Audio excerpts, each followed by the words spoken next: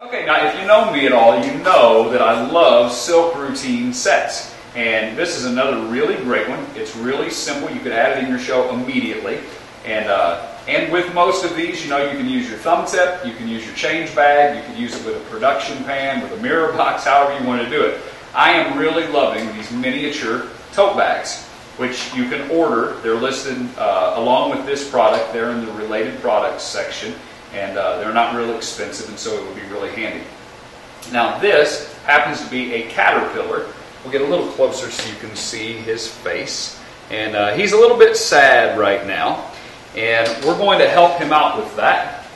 We're going to put him inside of the tote bag, and then you can uh, wave your hand, sprinkle woofle dust, say the magic words, whatever you want to do.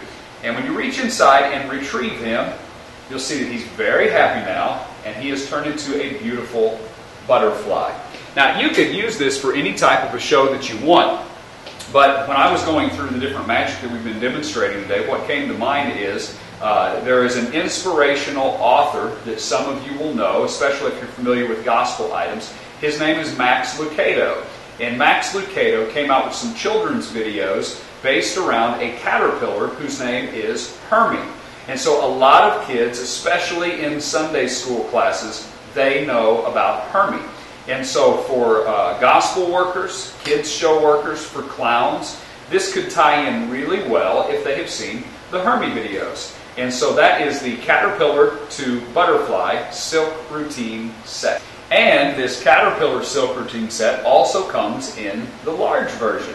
And so if you're working on a bigger stage, uh, or if you just like the larger version, and it still works with the miniature tote bag, you can show that one empty, and then do it like this. And of course, I compared this to Max Lucado's uh, Hermie's series.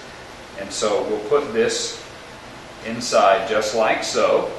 And we wave our hand over the top. And when we pull him back out again, he is very happy because now is a butterfly. And so that is the large version of the Caterpillar to Butterfly Silk Routine set.